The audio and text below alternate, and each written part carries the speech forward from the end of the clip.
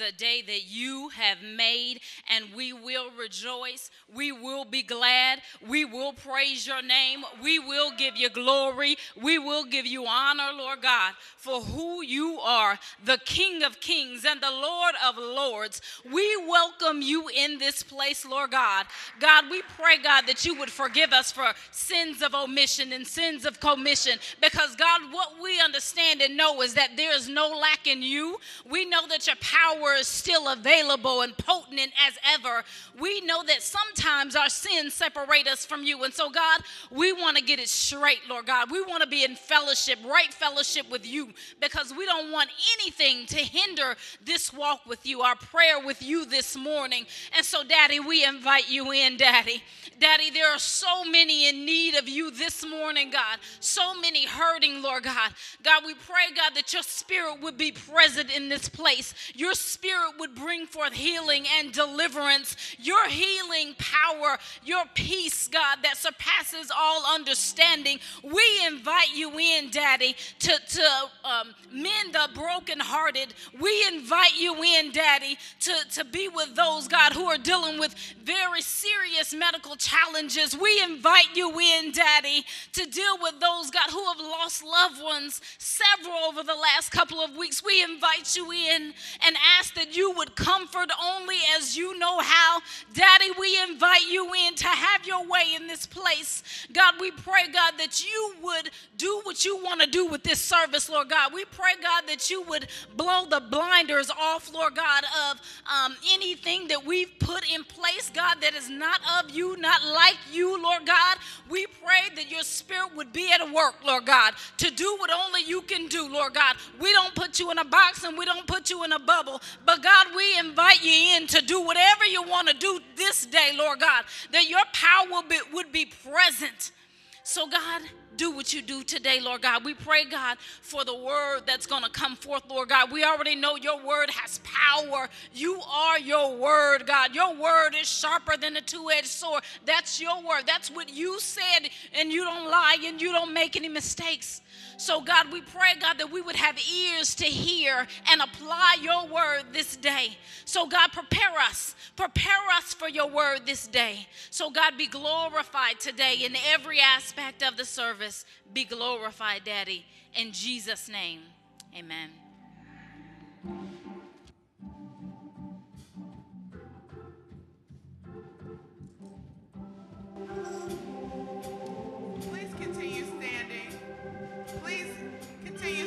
As we sing praise and worship unto our God.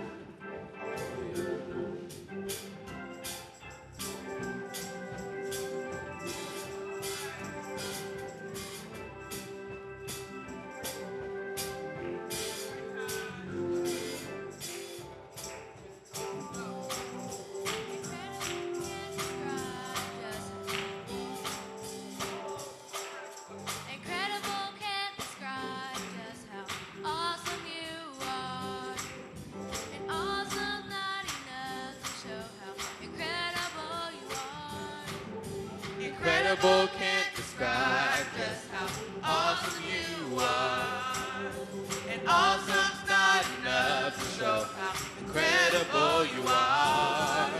Incredible can't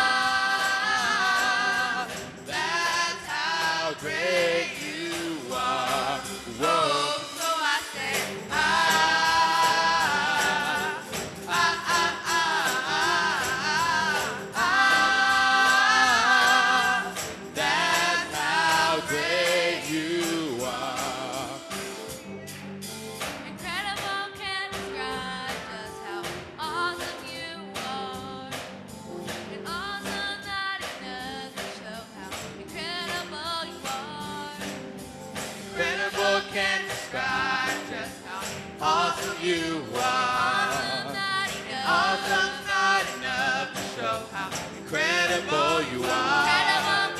Incredible can't describe. Just how awesome you are. Not enough to show how incredible.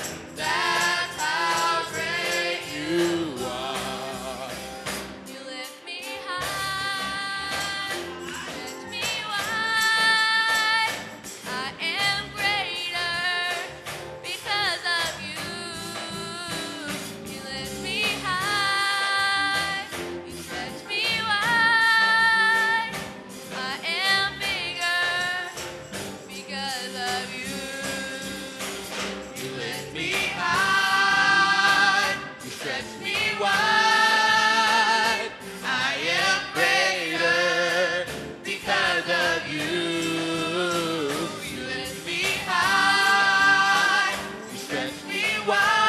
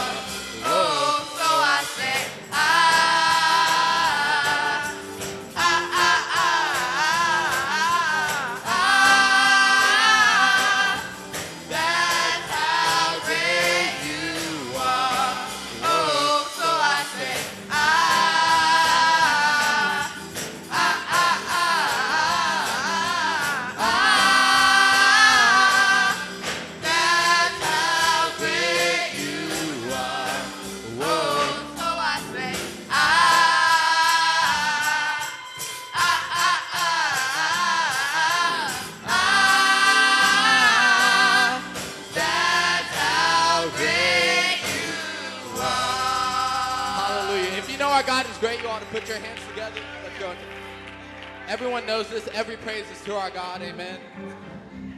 You to clap your hands and worship God with us. Hallelujah.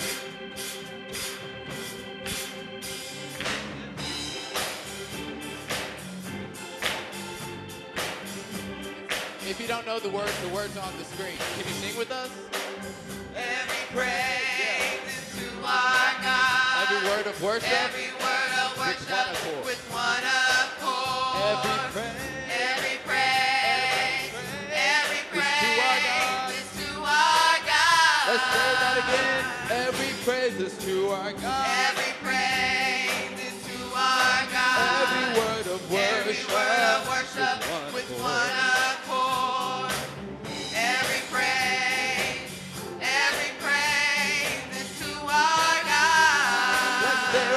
say every praise, every praise to our God. To our God. Every word of worship, every word of worship with one, with one.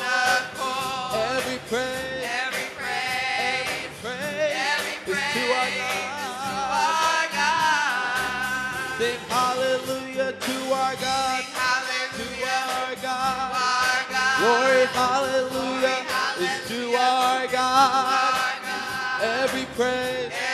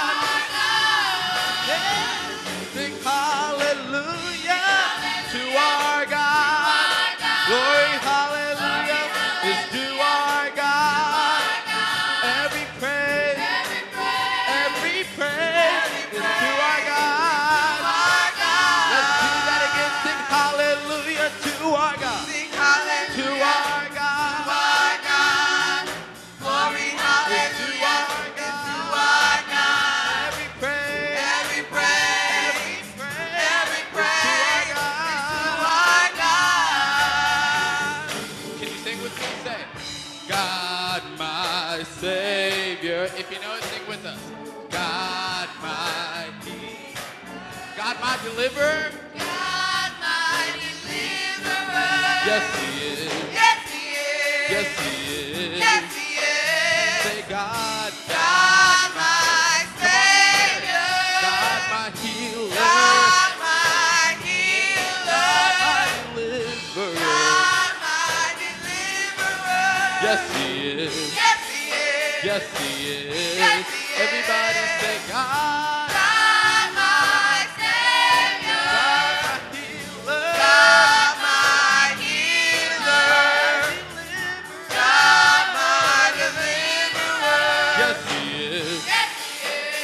He Yes, is. He is. Yes, He is. Say, God, God, my Savior. God my Healer. God, my healer. God my Deliverer. God, my deliverer. Here we go. Yes, He is. Yes, He is. Yes, He is. Yes, He is. Yes, He is. Yes, He is. Yes, He is. Yes, He is. Yes, He is. Yes, He is.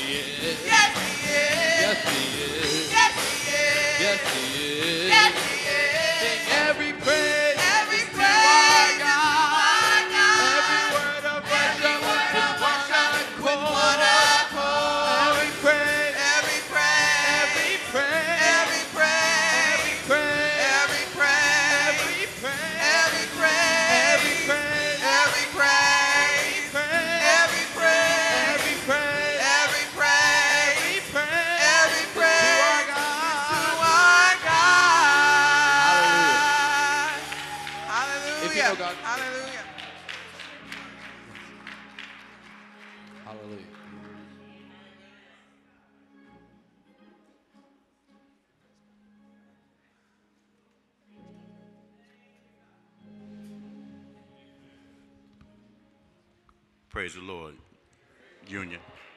And good morning. Every praise is to our God. Amen. He's our Savior, He's our deliverer, and He's our healer. And each and every those, each and every one of those areas, God has delivered me and saved me, and He's healed me. And I give Him praise, honor, and glory for it this day.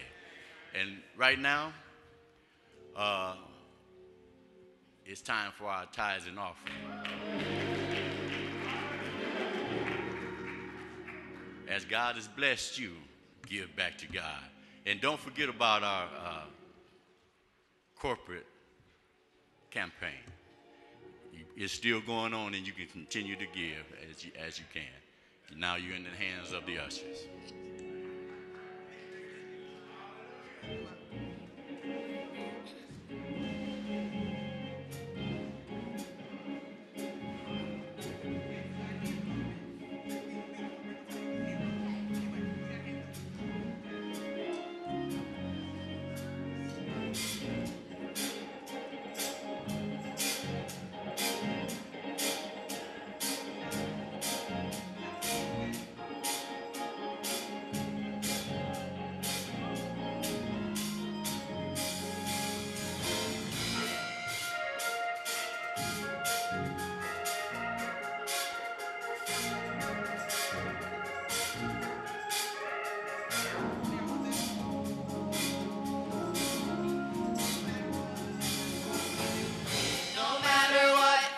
Problem be, I'm gonna lift him for the whole world to see. I got the victory for he is my king. He's the reason that I sing. No matter what The problem may be, I'm gonna lift him for the whole world to see. I got the victory for he is my king.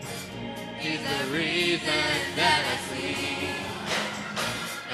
No matter what the problem may be, I'm gonna lift him for the whole world to see. I got the victory, for he is my king. He's the reason that I sing. No matter what the problem may be, I'm gonna lift him for the whole world to see. I got the victory, for he is my king.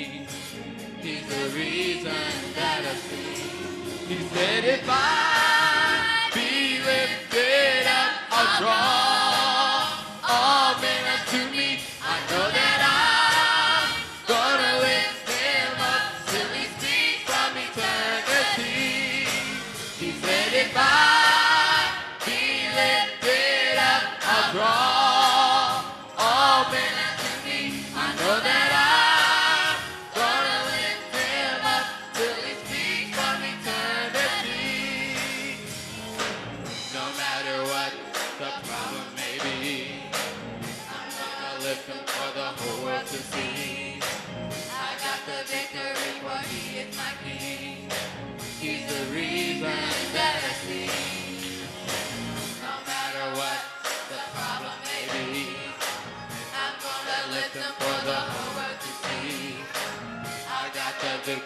for he is my king. He's the reason that I sing. He said, if I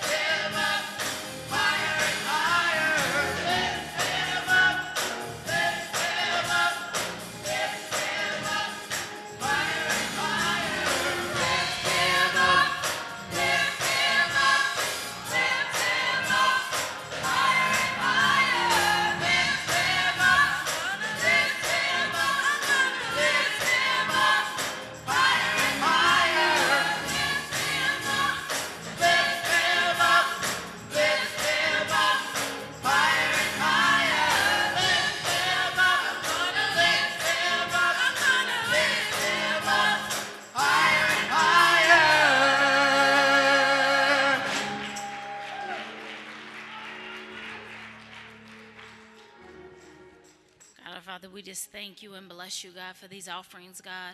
God, we pray, God, that you would magnify them, God, um, for the uplifting of your kingdom, God. God, we pray, God, that um, the funds needed, God, to do your kingdom business would be uh, magnified, God, to its greatest extent. God, we pray your blessings over those that gave and those that had not to give. God, we pray your blessings over them. In Jesus' name,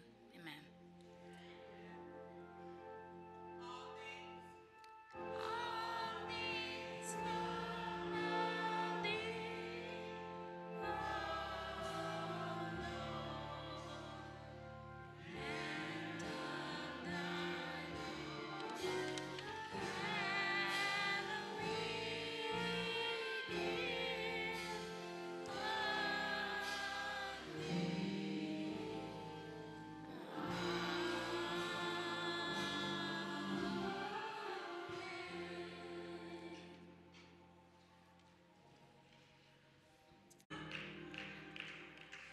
Amen. Amen, amen, amen. I'd like to introduce um, our speaker, introduce and present um, to some. Um, our speaker for today will be, um, our minister of the word today will be uh, Minister Okie Mallory. Amen, amen. you know, I know he's our friend and our brother, and, and he really doesn't need any introduction, but I, I just gotta just say a little bit. Um, I know he, you know, such a humble man, wouldn't want anybody to, um, you know, he just said, just tell him Okie's coming. I, I know that, I know that's what he would say. I'm just Okie and I'm coming. But he is truly, truly, truly a man of God, um, after God's own heart. Um, when we had two services, he would be here every service, playing every service, just dedicated um, to the work of the ministry. And if any of you have talked to him for a while, he would be after he'll be after church talking to you. He'll be after church praying for you, or he'll just stop in his truck one day on the way somewhere and stop and encourage your heart. That's the kind of man that he is. Um, you know, your furnace is messed up. He'll come over and fix it. I've seen him under the hood of cars. I've seen him um, uh, packing up people. Somebody else just hollered out something else, packing up people, moving people. Last week he was in there flying around cooking that wonderful breakfast. Did anybody get that wonderful breakfast last week? He was one of the ones doing that. But that's just the kind of man that he is. He had a he has a servant's heart. Along with being an awesome, I think Carla would say, a wonderful husband wonderful husband, wonderful father, and um, I'm proud to call him my friend. So um, he's going to come to you. I, you're, you're in for a treat. You already know that. Um, I know that he spent time this week um, from God hearing what it is that God would have to say to us and to him. So just keep him lifted up. Keep him lifted up. Um, even today, he's doing double duty. So keep him lifted up because we don't want any hindrances um, uh, as far as what God wants to say to us today. So after this last selection, the next voice you will hear will be that of Minister Okie Mallory. Amen.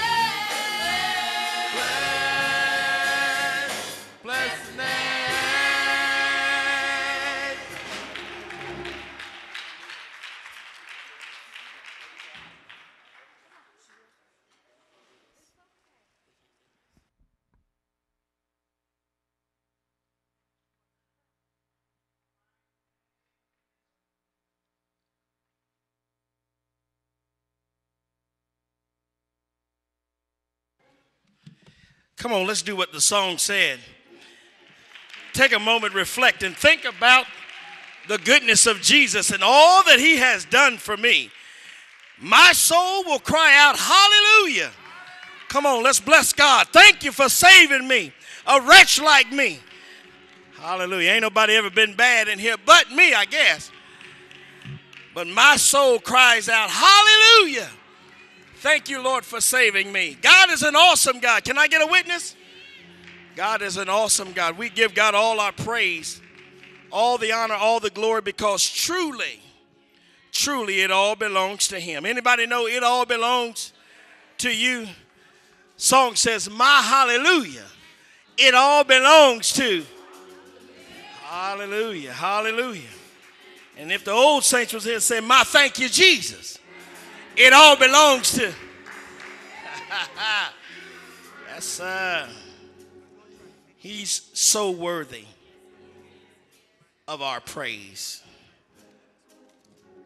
From the rising of the sun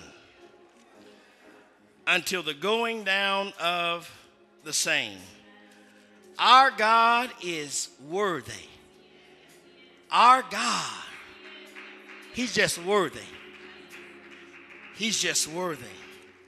And all I have to do is just think about.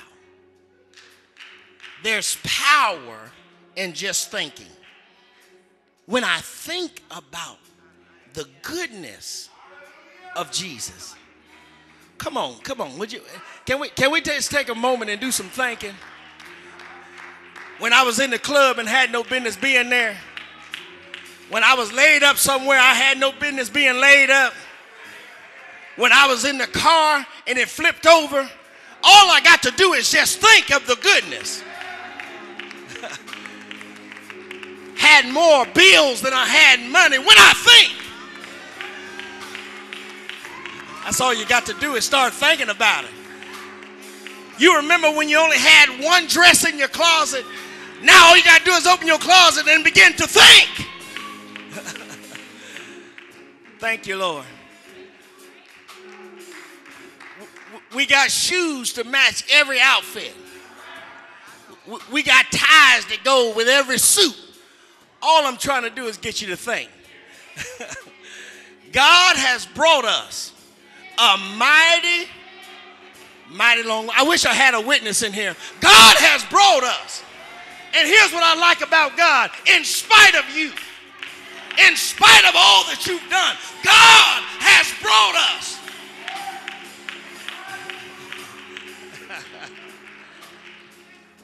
Give him praise. I give him honor.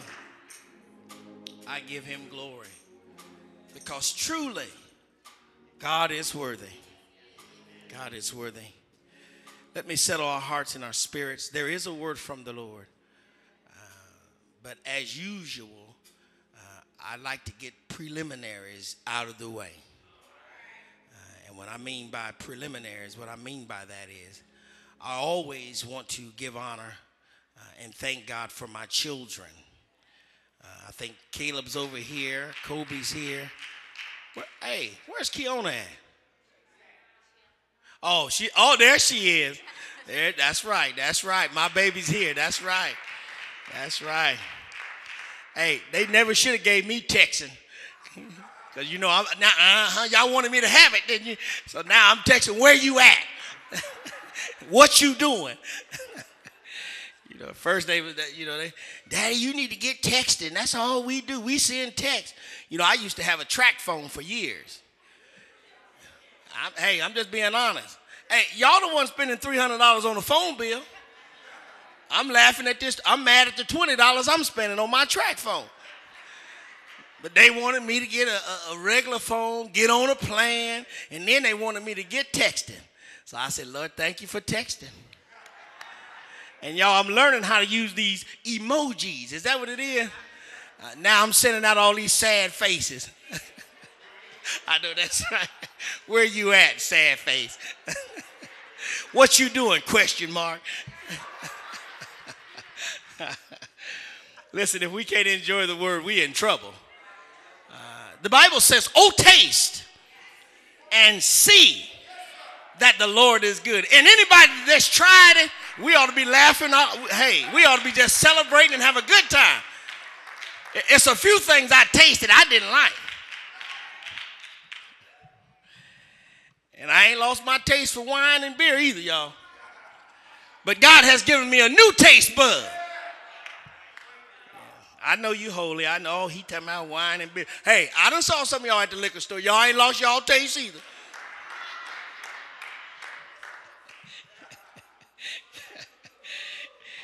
I seen you. Have a little fun. It's just a blessing to be in the house of the Lord, to loosen up a little bit. Um, this is the day that the Lord has made. I will rejoice. Now, I don't, it don't mean I, I don't have some problems. It doesn't mean I don't have a few situations going on uh, in my life. But I've made up in my mind that regardless my circumstance, re- regardless of my situation, I will rejoice and be glad in it. Let me tell you why I rejoice. It- it is because of the Lord's mercy. I wish I had a witness uh, that I'm not been consumed, for they are new. Woo. Not every other morning, because I'd have got I'd have got killed the other morning. But every single morning, God showers his mercy, his grace in our lives. Undeserving, because y'all know we don't deserve it. It's good to see my friend, uh, Brother Rick, in the loss of your family. Just know that we, you are in our prayers, uh, Brother Kyle, uh, in the loss of your family. Uh, just know you're in our prayers and thoughts. And, and just know God is able. God is able to carry us through. And a few others here are fresh from the hands uh, of bereavement. It's tough, you all. It's tough. You know, it, it's not easy. And so we need to care for each other. We, we ought to stop saying they ought to just get over it. You know, dang, dang, they've been gone three weeks. They, dang, how long they gonna mourn? Now you wait till you lose somebody. You be the main one all in the cast. Ah, don't go. Y'all ever saw that at the funeral? Lord have mercy. Uh, but finally, I said my three kids, but you all, I got the best wife in the world. Come on, Carla Jean. Woohoo! I, hey, uh, what's they say? She all right. Hey, hey, beauty is in the eye. Now watch out now. I don't care what you think.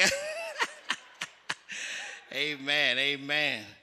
That's my baby there. I love her to death. And then I like to honor my mother and my father. Thank God for dad and mom coming down. The Bible says to all the children, honor your mother and, and your father. Listen, that your days may be lengthened and long. And, and some translations say that it may go well with you. And so I'm trying to honor y'all because I want it to go well. Actually, I got a selfish motive at heart. Me. I got a selfish agenda here. Uh, there is a word, uh, if you don't mind turning in your Bibles to Second Corinthians. I tossed and turned um, uh, a while with this word uh, because this word is what I call a transition word. It's a word that if you grasp the concept, if you grasp uh, what it is uh, the word is really teaching, uh, it can transform your life. As a matter of fact, the Bible says that the word is sharp. It- It's quick, uh, sharper than any two-edged sword, able to cut asunder uh, the marrow. From listen, it can get way down in those places uh, in order to do some separating. So this word, I've shared it with my dad and and anybody else that'll listen to me preach. I, I'm always preaching. And so I shared it with him a couple of times, and, and God just wrestled me, wrestled me, wrestled me, wrestled me, and said, Oh, uh, they got to get this.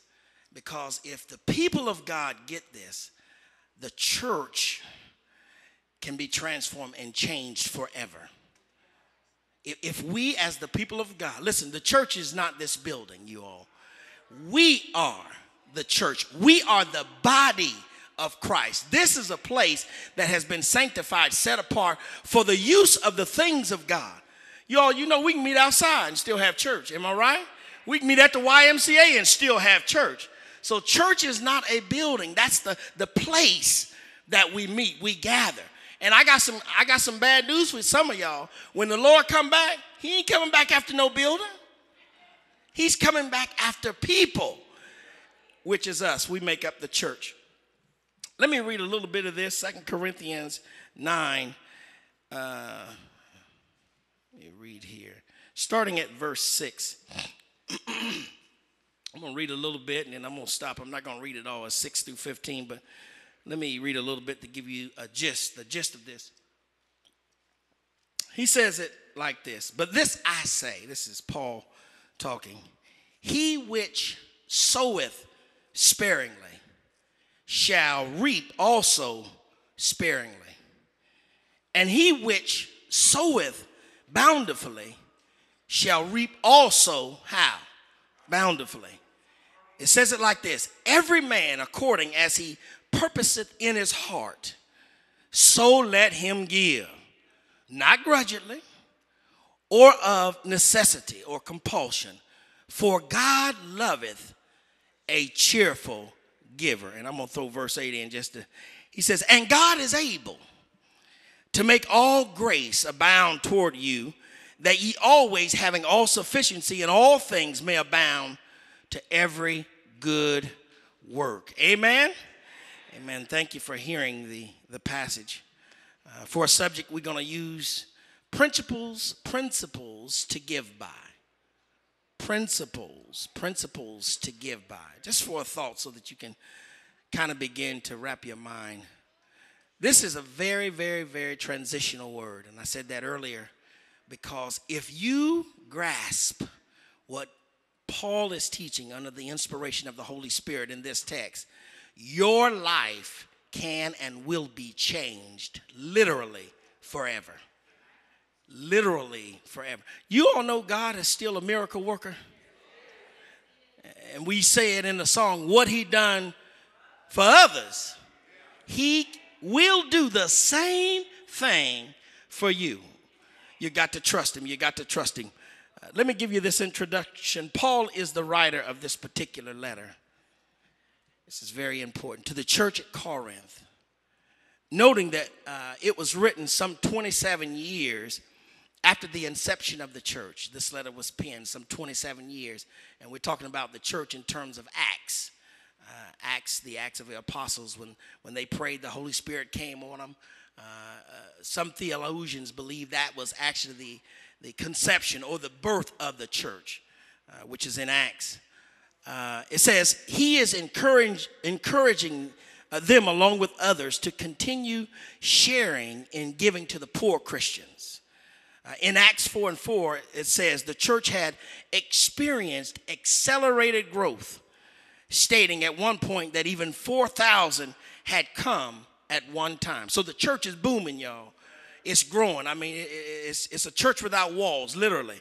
It says, Many being filled with joy and of one heart, according to Acts 4 32 through 37. Here's what they did they sold land and they placed it at the apostles' feet uh, uh, to support the growing needs of the church. So get what's going on. The, uh, the church is booming, uh, the church is growing, and, and certainly when you begin to build, to grow, uh, you need some finances because people are coming in, all manner of people. Uh, it says, as a result of this disbursement, there was no lack uh, within the body of Christ. In other words, when, when people begin to uh, to give uh, in terms of supporting of the ministry, nobody in the body went without. So if somebody needed a pair of shoes, guess what they got? A pair of shoes. If somebody needed a light bill paid, guess what they got? They got their light bill paid.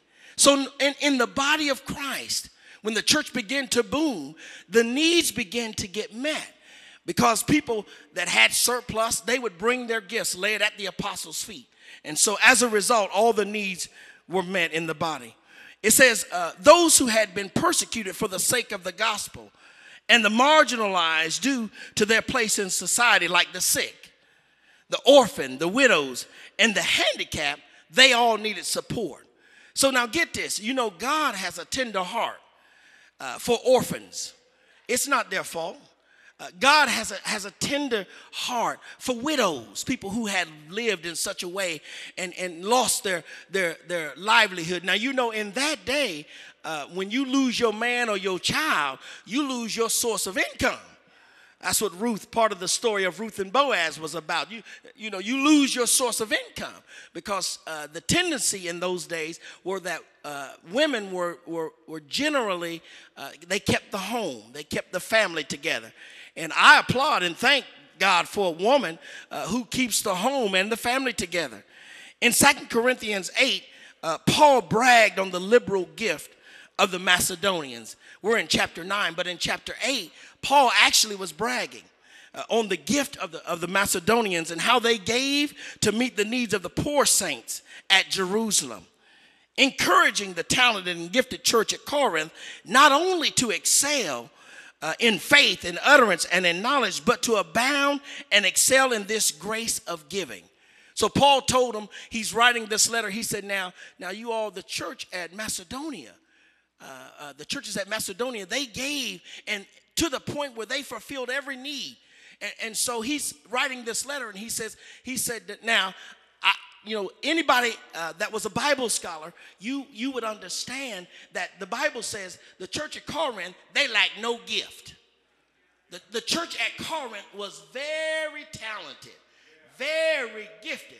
But the problem with the church at Corinth is they were immature. They- were immature. The, the church at Corinth, they were doing everything under the sun. but but let me just drop this on you. Sometimes it you know people are very gifted, but being gifted and mature is two different things. There's some places that your gift will take you that your mature your maturity can't sustain you in. Y'all missed that, didn't you?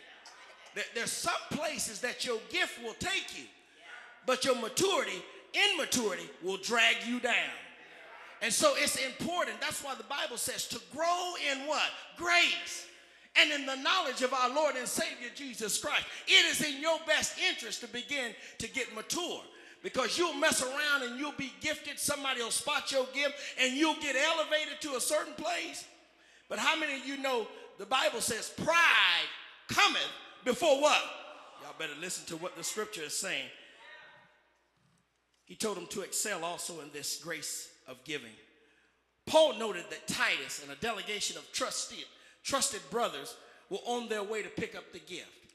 End of chapter 9, he said, Now, now, now, this church at Corinth, he said, I'm going to send a delegation uh, of trusted brothers. Titus is going to be with them. You all read that when you get a moment. He said, I'm going to send them now. Uh, and they're on their way to pick up this gift because I want you guys to begin to excel in everything. Listen, round yourself as a Christian. Round yourself as a Christian. Let me tell you what I mean by this. Don't just be all good at this and then horrible at this over here. Does, does that make sense?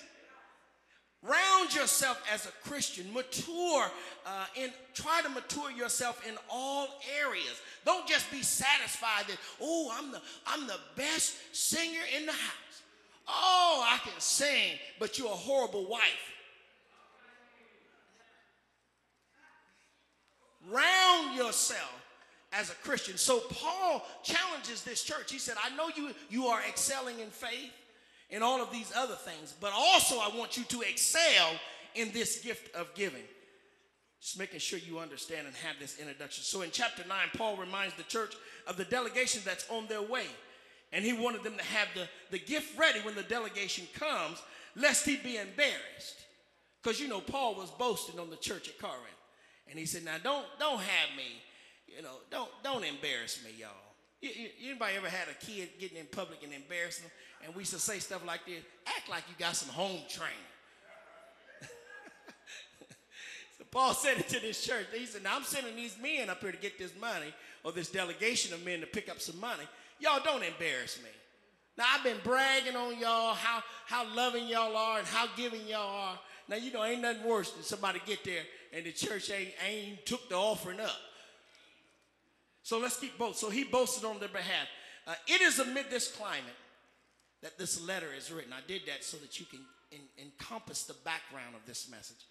It's amid this climate that this letter is written. Ultimately, that the gospel of Jesus Christ would be spread and lived out in accordance with God's word. It's with great conviction, you all, great conviction uh, and concern that I share the content of Paul's letter to inform, to inspire and to encourage all of us to become better givers. The, the, the content and the context of this letter, Paul shared, and as well with me. Uh, I, I've been kind of seized by God to share this word. It's a, it's, it's, it's, it's, a, it's a beautiful word because most of you have notes, uh, and, it, and it talks about Paul actually encouraging folks to give. God wants all of us, all of his children, to grow in our understanding of giving for the benefit of the gospel. Grow in our understanding. In other words, round yourself. Get, get, it says, in all of your getting, get a good understanding. And so that's what the challenge of this message is. As we look at this letter to the church at Corinth, Paul shares three things to remember as they prepare to give. So now get where I'm going with this, and then we'll launch into this message. Paul shares these things. And, and basically, what he's doing, he sent them the, the letter early. And, he, and, and get this, he has a delegation of people coming to get the money. But what Paul does is he, he, he shares this letter to encourage and to inspire them to get things together. So, with that in mind, this is what he says. Uh, he says in verse 6 But I say, he which soweth sparingly shall reap also sparingly. But he who soweth bountifully shall reap also what? Bountifully. Here's the first thing Paul does. Remember, y'all keep this in mind. He sent this letter ahead to prepare them for giving. He says, now, if you sow sparingly, you're going to reap sparingly. But if you sow bountifully, you're going to reap bountifully. The first thing Paul explains to them is the natural law of sowing. The natural law of sowing. The natural law of sowing. It's important you understand something about, about sowing so that when you have the opportunity, you won't be ignorant. He starts out with if you sow now sparingly, you're going to reap sparingly. But if you sow bountifully, you'll reap bountifully. Actually, the, the, the law of sowing is actually found in Genesis 1:11. Let me, let me read this to you. Now, this is when God was creating things and, and, and, and getting everything in order. It's in Genesis 11. He said this He says, And God said, Let the earth bring forth grass, the herb yielding seed, and the fruit tree yielding fruit after his kind, whose seed is in itself upon the earth. Verse 12 says this And the earth brought forth grass and herb yielding seed after his kind, and the tree yielding fruit, uh, whose seed was in itself after his kind. And God saw that it was good.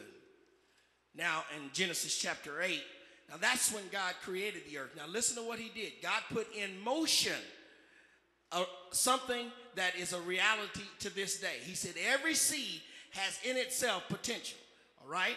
Now, verse 8, y'all know the earth had gotten bad. Now, by chapter 8, God is like, I'm fed up with y'all. And, and actually, God destroyed the earth. Uh, he destroyed the earth with a flood. But I, I need you to see what happened uh, with this whole idea of, of natural law of sowing. It's, it's found in verses 8 22. He said this Now, after the flood, Noah gets off the boat. God said this He says, While the earth remaineth, let's just look, look at what's going to happen. While the earth is here, there's going to be seed time and harvest. Uh, he said it's going to be cold and heat and summer and winter, and day and night shall not cease. Now, has that stopped yet? So, so God said something way back in Genesis. You all get this. This, this is going to change your whole life. He said, now, as long as the earth remains, it's going to be seed time, it's going to be harvest time, and not, not only that, he said every seed in itself bears something. And, and so, what Paul was teaching, because they were on their way to collect this gift, he was trying to help them to understand the natural law of sowing. First of all, every seed bears in it potential. Get what, what, what Paul is saying. Every seed bears in it potential. Every seed bears in it potential. If you get a seed from the hardware store or, or Walmart, you get a pack of seeds, all of those seeds bear in them potential. Do you understand what I'm saying? Not all seeds bear the same reproductive potential. Some seeds are one to one. If you put one seed in the ground, you're going to get one plant. You understand what I'm saying? But there's some seeds that bear with them multiple potential. You put one apple seed in the ground, you get a whole tree. So the potential out of one seed, you, you if you guys get this, it's gonna change your whole life. He said, now, now get this. So there's various seeds. Some have different potential. Now, in order uh, for the seed to bring its potential, it says the seed must be sown. You can't hold a seed in your hand and expect for that seed to bear. You all, I'm trying to preach a little bit. now, if you if you hold that seed in your hand, next week that seed still gonna be. If you hold that seed for a week or a year, that seed still gonna be. I'm trying to help somebody. If y'all get this, you're gonna say, Thank you, Jesus. so seeds must be sown in order for its potential to be recognized or experienced. They have to be sown. Every potential harvest is based on the number of seeds planted. Every potential harvest is based on the number of seeds planted. Now, here's the thing if you get 10 seeds, and, and I'm just going to use for a, a, a, a, quick thought here, uh, all the youth that I gave some money to, I need you to come up here. Everybody that I gave some money to. Come on now, come on. It, ain't no, I, I didn't gave you some money. You get out of here. Every every youth that I gave some money.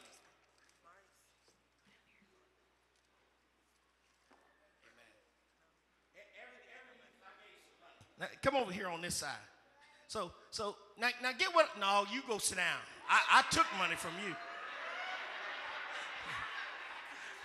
I- yeah, I took money from him to give them money this morning. now, now get get what, what, what Paul is teaching them. It's a lesson. He said, uh, now he, he, he's talking about the law of sowing is what he's trying to show them uh, before, the, before the delegation gets there. And so um, every seed has potential in it. But now notice some seeds have what? Different potential. So now, let me see here. Who, who did I give a dollar to? I- gave everybody a dollar, right?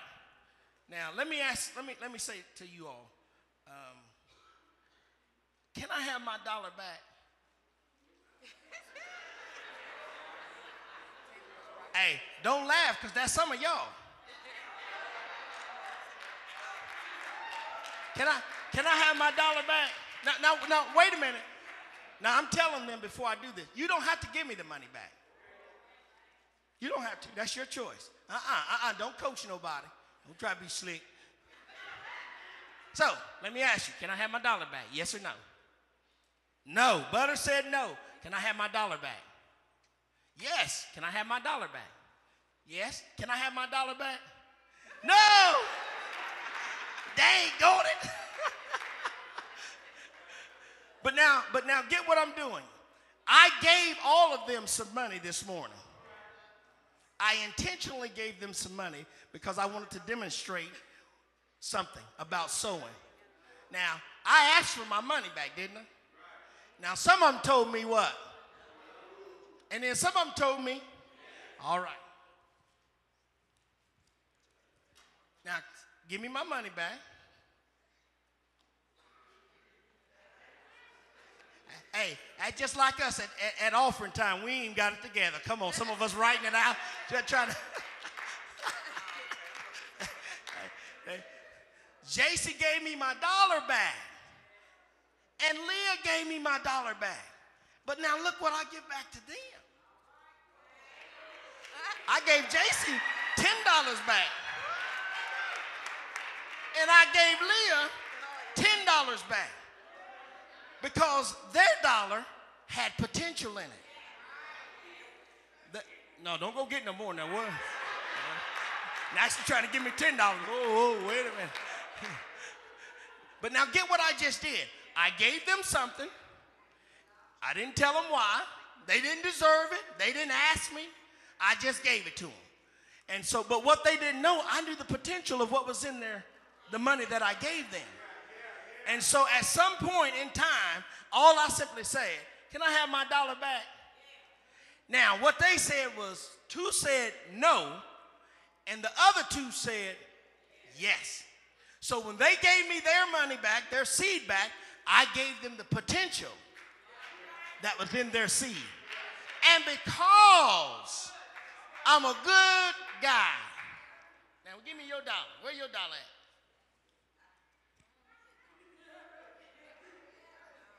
Let me have your dollar. Where your dollar at? Now see how easy he giving his dollar up now? All right, let's give them a hand. But now look at what I did. I go ahead, go ahead. I gave them money.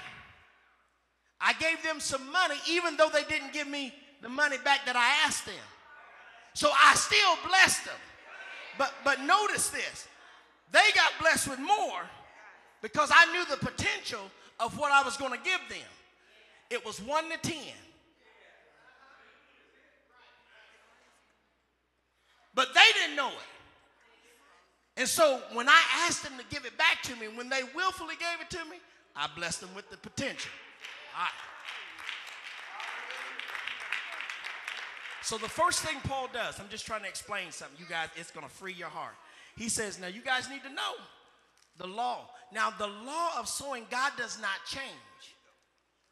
He said, as long as the earth remains, there will be seed time and there's going to be harvest time. Now, here's what you need to know. Anybody that's a farmer, Deacon Johnson, I think, is a farmer. Look, Don't you farm a little bit? Yeah, he farms a little bit.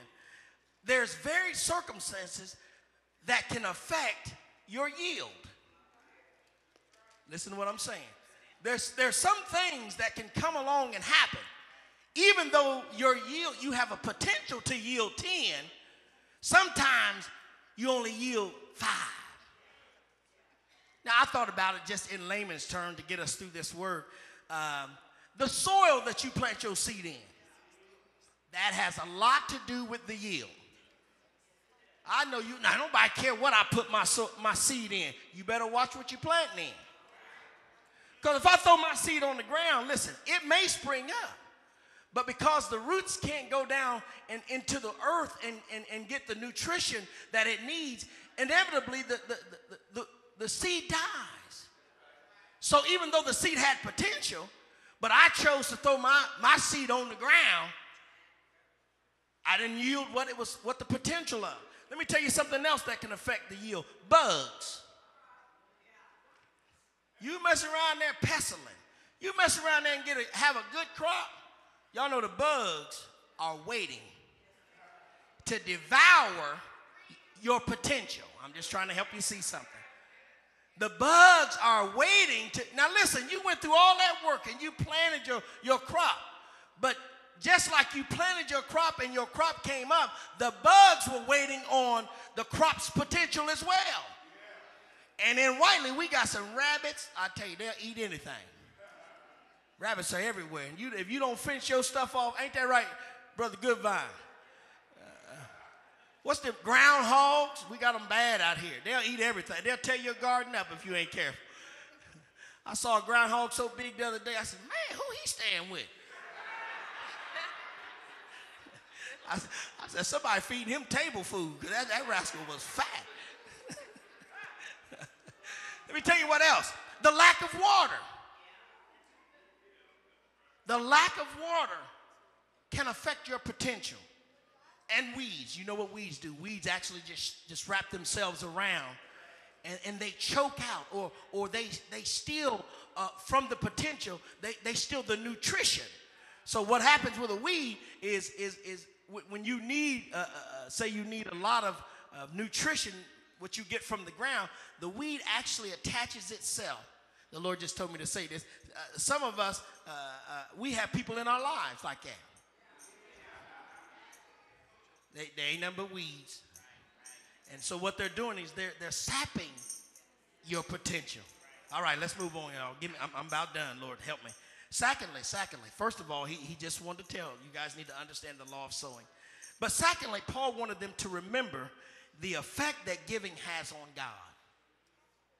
Paul, Paul wanted them to remember the effect that giving has on God. You all ain't, are still in the text, aren't you? I said, y'all, I, I need to get there. Hold on just a second. Look, look at what he says. Um, I think that's in verse 7.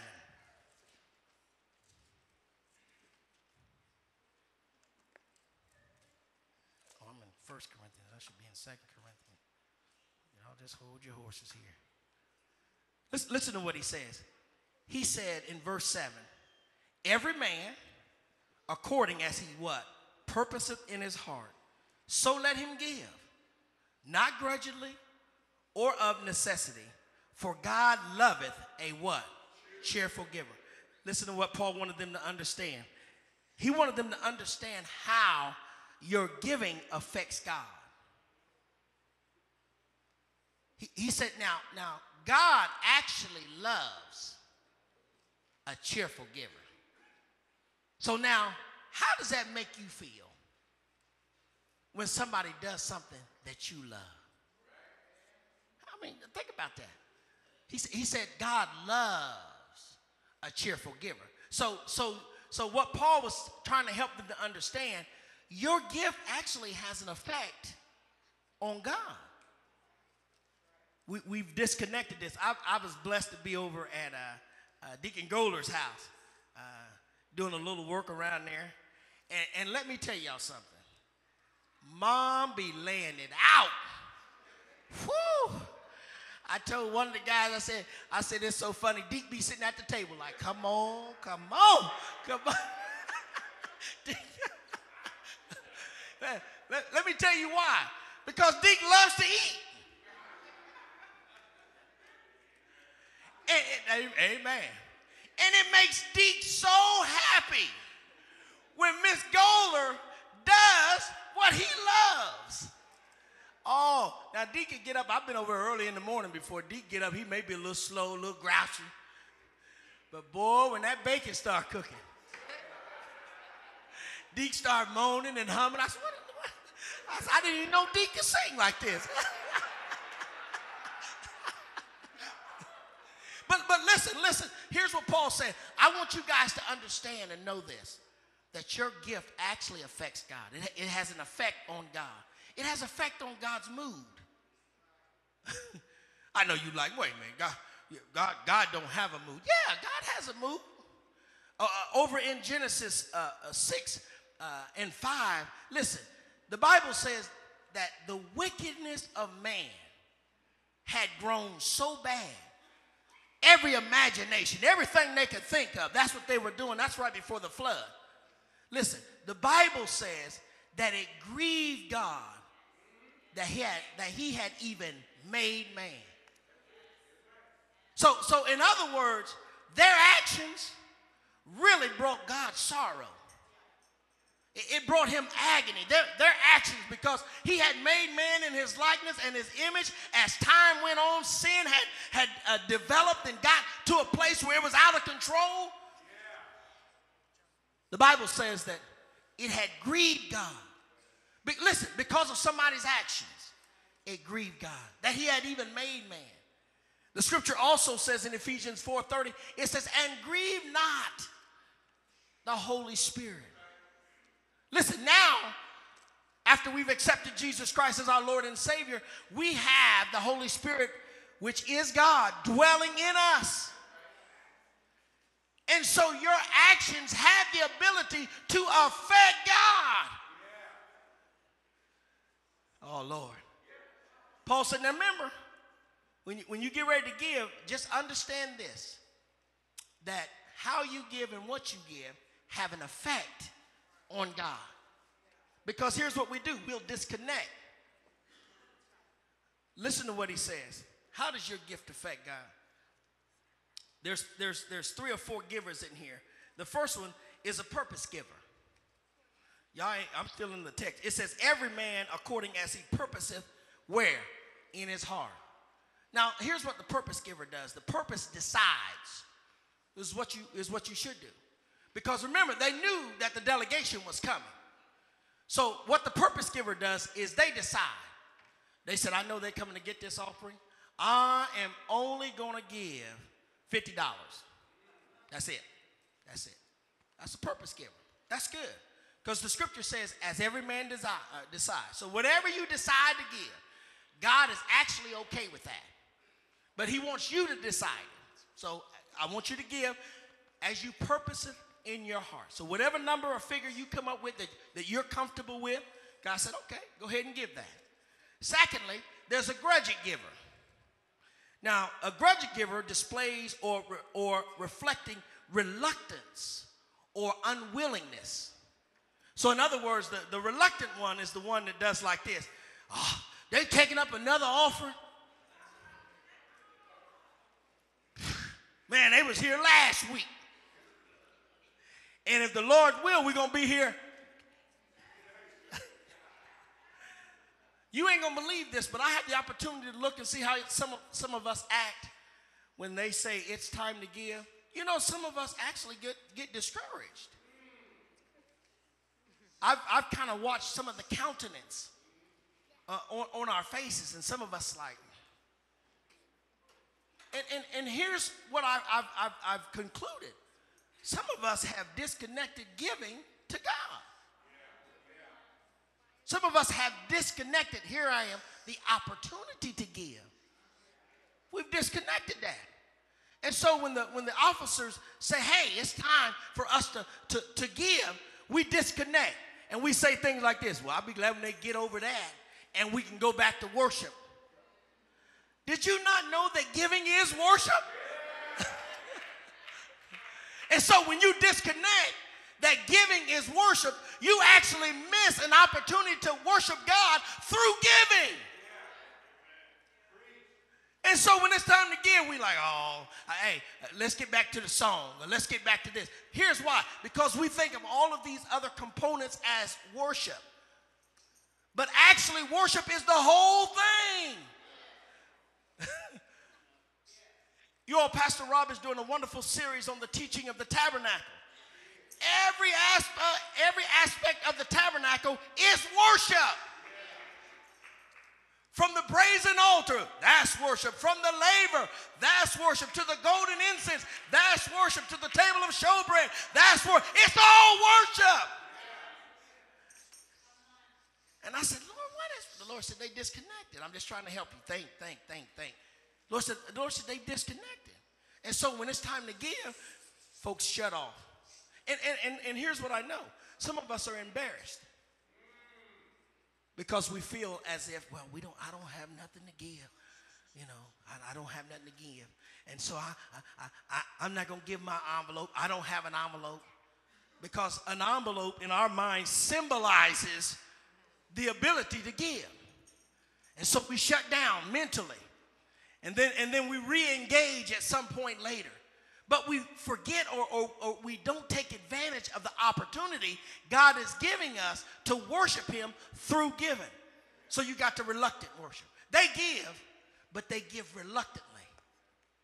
They give because you know I figured out some people. If you put some people on the spot, they'll do it anyway.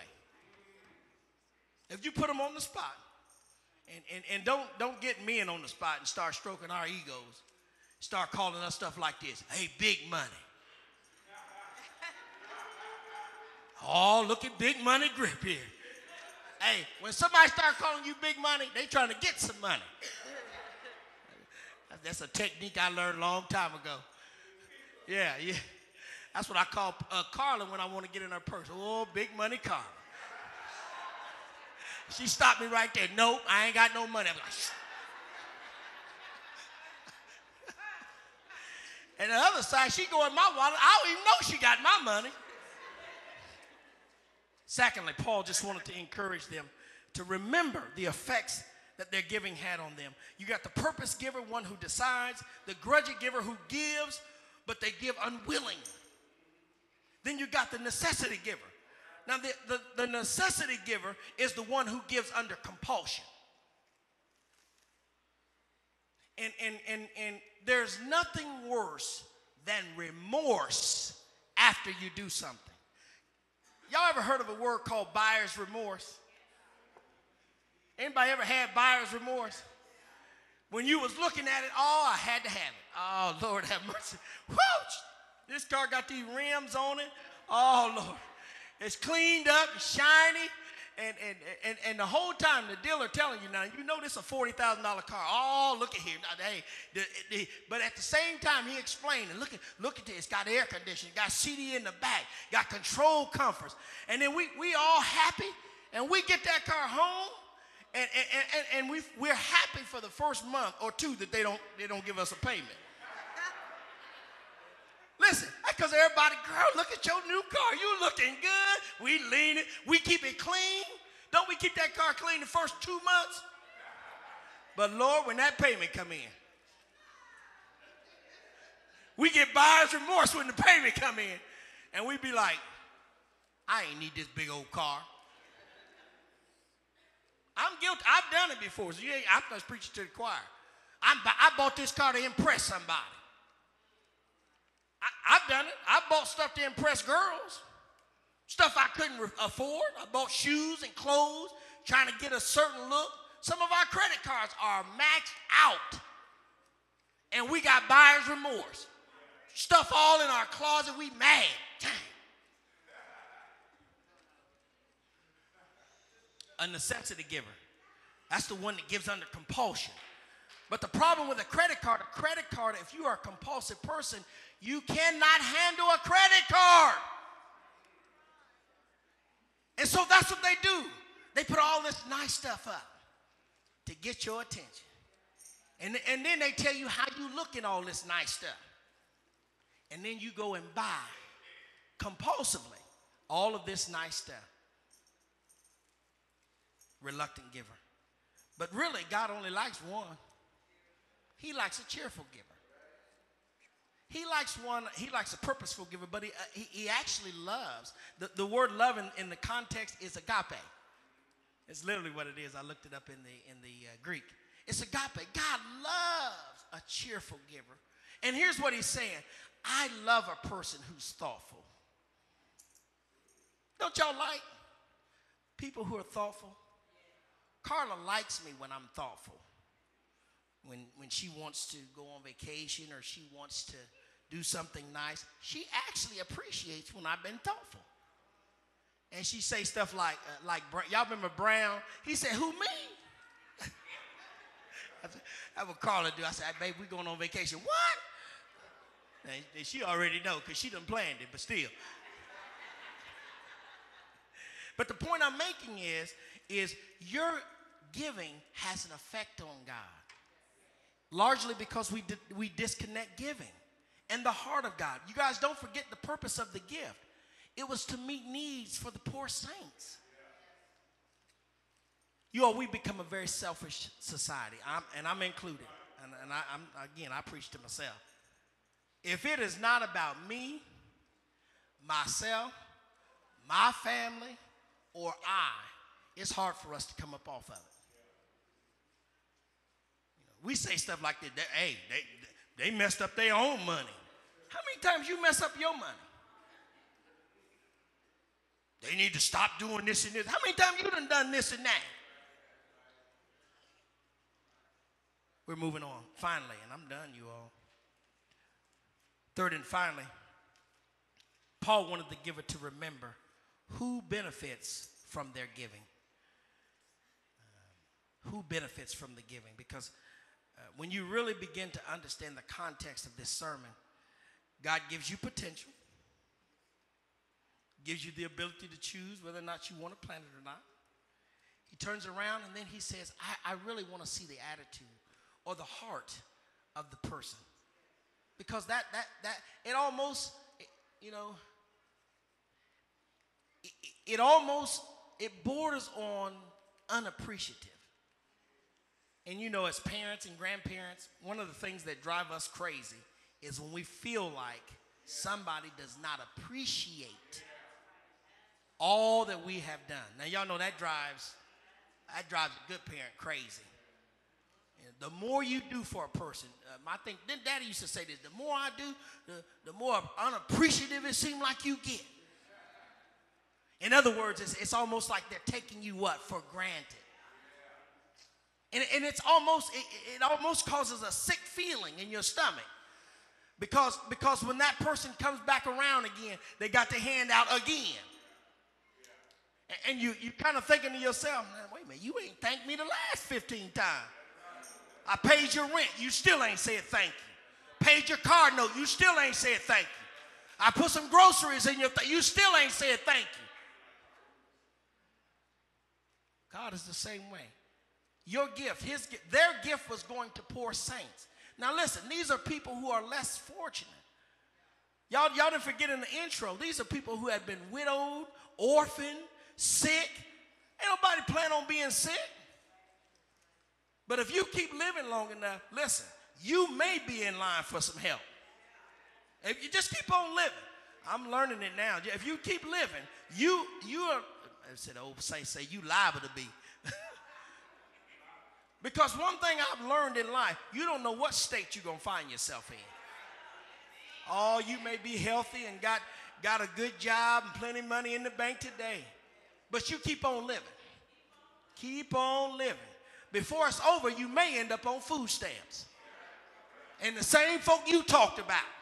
Because y'all know we talk about folk. Yeah, no, she don't need to be on no darn food stamps. Wait a minute, and you buying half of them. Uh-oh.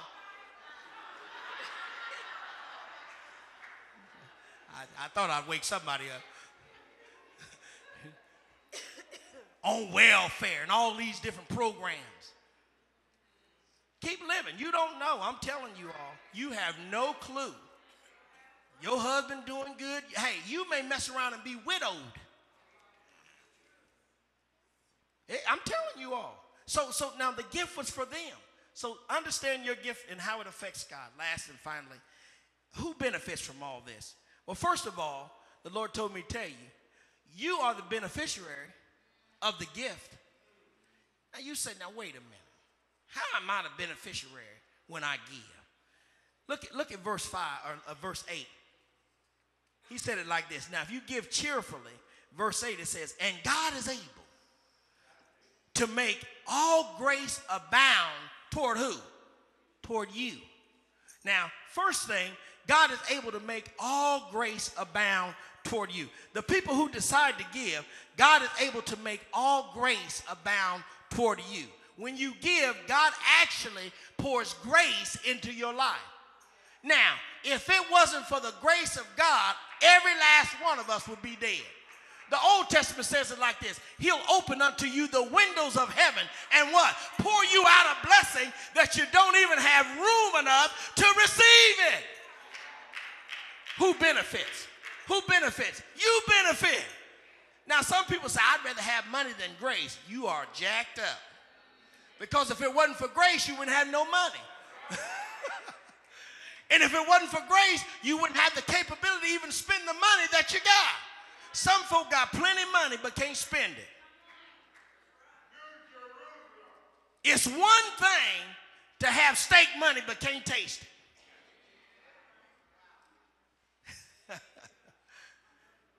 It's one thing to be able to buy a $5,000 bed and can't lay in it. It's one thing to make a million dollars and have no peace. Why do y'all think everybody in Hollywood on dope, strung out, killing themselves? They got all this money. They're missing grace. Who benefits? You benefit. It says not only that, but it says having all sufficiency in all things. You benefit because when you begin to give, what God does is He makes sure He keeps you stocked up. Listen to what God is saying.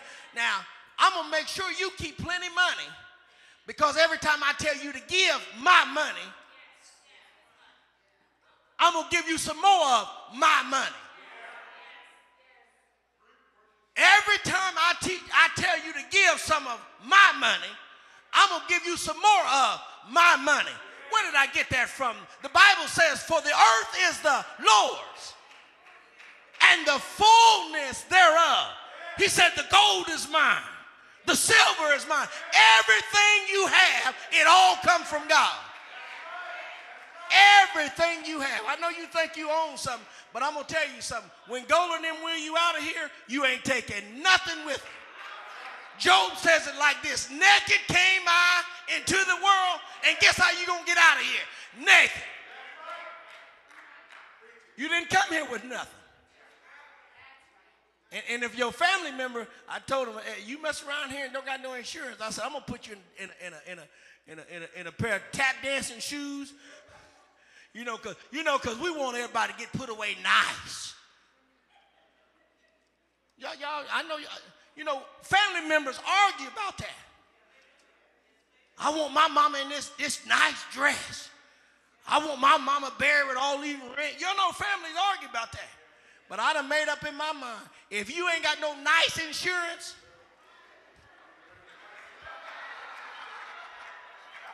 you, you can laugh at me if you want. Hey, you let your tab be on me and see what happens. Now, while you living this nice life, you need to have some nice insurance so that I can put you away just how you want to be put away. Nice. I know I'm preaching. I done been to some of my family. Don't nobody got no insurance.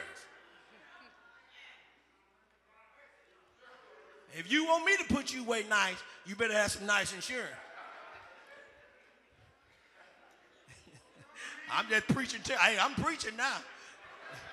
I'm telling you, you, you be buried in some tap dancing shoes and a tutu fooling with me.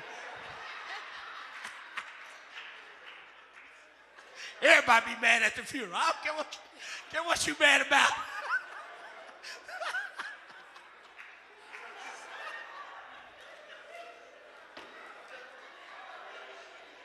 That tickle me.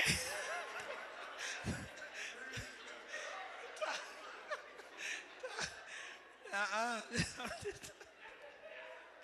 Lord have mercy here. But who benefits? You benefit. God says, I'm going to make sure all grace abounds towards you. You need grace on your job. You need grace in your health. You need grace in your marriage. You need some grace. And when you take care of the things that God wants to be taken care of, He makes sure that you got some money. Listen, I would be a fool not to give a person money that's going to do the right thing with it. If I own it all, oh, I'm going to make sure you stay loaded up.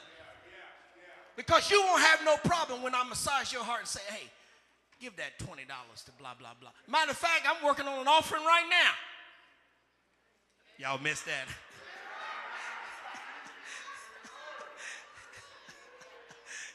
hey, get them, Lord. Get them, Lord.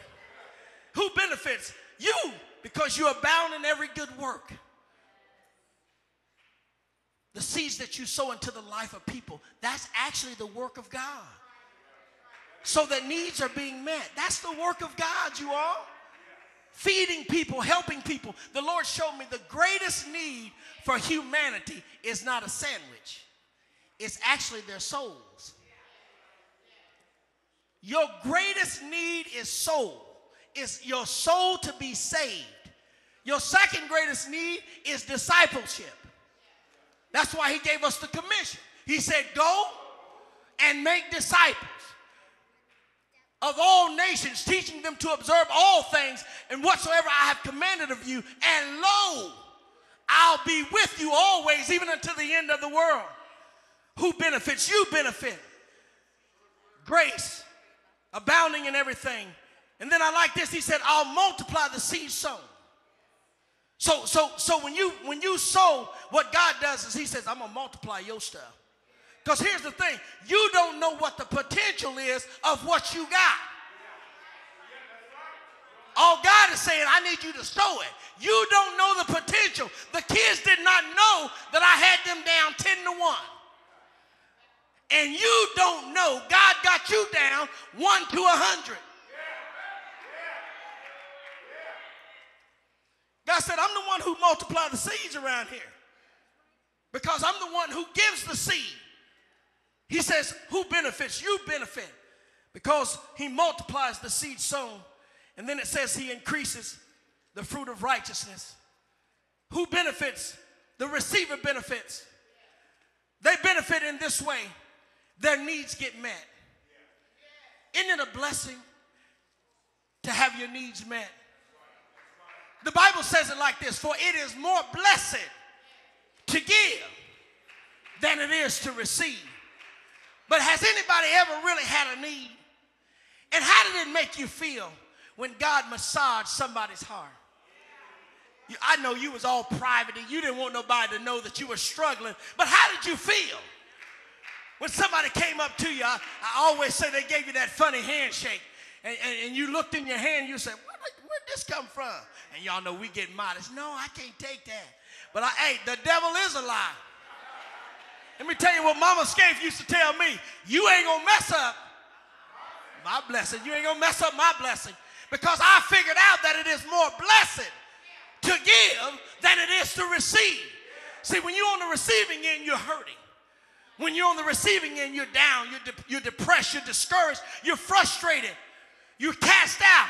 But boy, when you're on the giving end, God gives you something to give, you ought to be tickled to death. That's why he said, I love an hilarious giver. See, when you really understand that God blesses you, and then he turns around and says, Now I need you to go bless somebody else. We ought to be tickling around here. I love it when I see my brother over here during offering time, he starts dancing. We call him Lightfoot. But let me tell you the truth of the matter. He understands.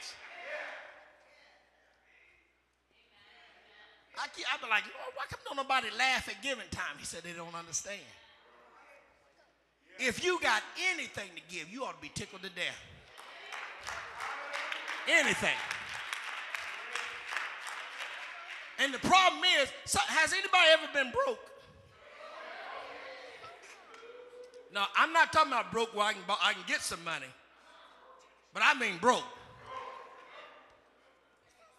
Hey, some people can't even borrow money because they didn't have the money to pay back the money that they borrowed. I mean broke.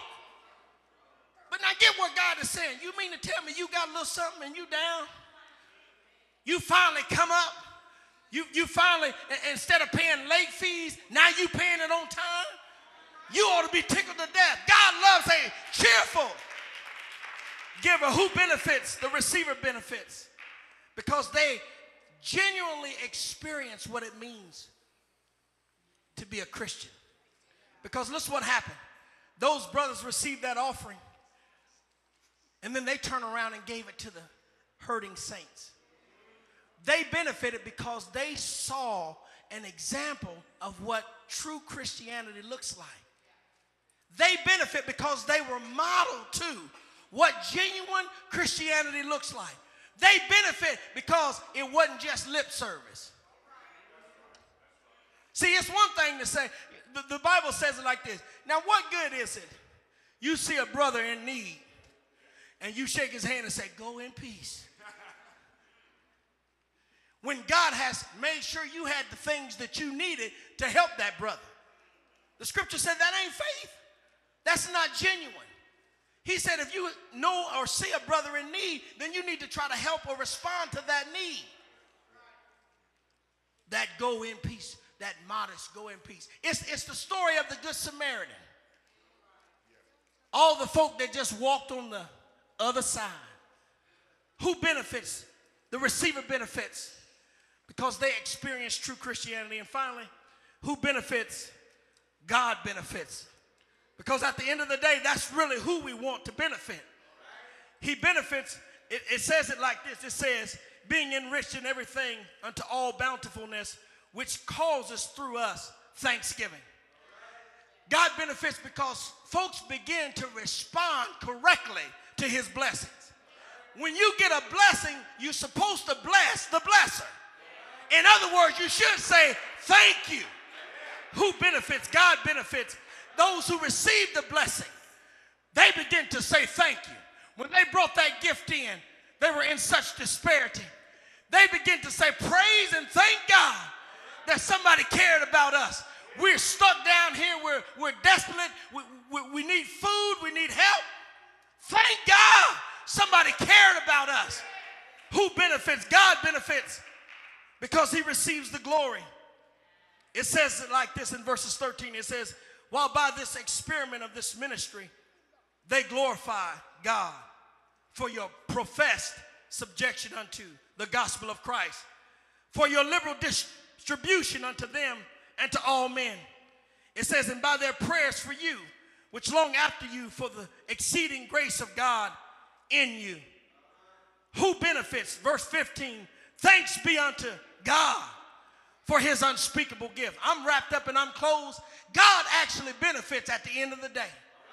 Because when your heart is massaged, you yield, you obey God. Actually, it comes back to him because he gets glory because his intentions in earth are fulfilled. Needs are met. People are encouraged. People are sharing with each other. God begins to get glory.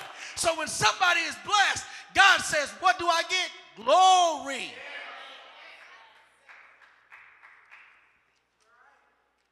God is really challenging us to respond because we're in a giving family.